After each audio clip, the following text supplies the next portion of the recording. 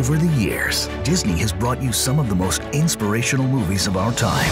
And this Saturday, you're invited to a very special sneak preview. We find the first Major League Baseball player from India. Can't be done. Of the greatest journey of them all. This is Major League Baseball, not some social experiment. Based on the incredible true story. We've got a Major League tryout. Are you messing with us? No, I'm not messing with you. Million Dollar Arm, rated PG. Special sneak preview this Saturday, everywhere May 16th.